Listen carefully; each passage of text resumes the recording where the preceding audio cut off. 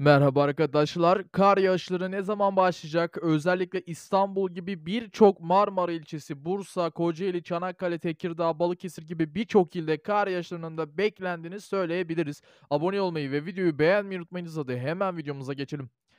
İstanbul'da hava sıcaklarının düşmesinin ardından kar bu yıl ne zaman gelecek? Acaba hiç mi yağmayacak sorusu da insanların akıllarına tabii ki takıldı.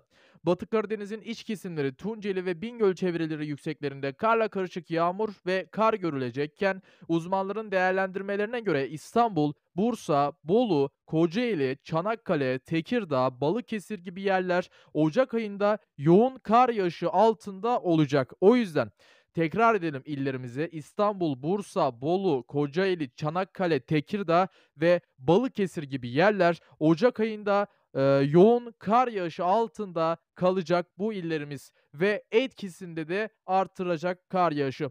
Aralık ayının ikinci haftasında da İstanbul'da kar yağışı görebilir, yani görülebilir diyor uzmanlar ama genel olarak, net olarak kar yağışının ocak ayı içerisinde ciddi bir kar yağışı olacağını ve ocak ayı içerisinde kar yağışının etkisini arttıracağını söylüyor uzmanlar. İstanbul, Bursa, Bolu, Kocaeli, Çanakkale, Tekirdağ, Balıkesir gibi yerlerde ciddi bir kar yağışı olacağını uzmanlar söylüyor arkadaşlar.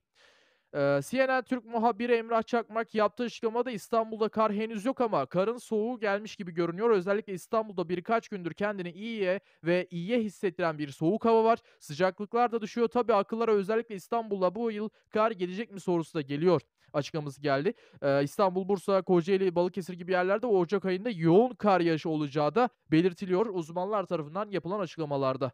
Abone olmayı ve videoyu beğenmeyi unutmayınız. Kendinize iyi bakın. Sağlıcakla kalın.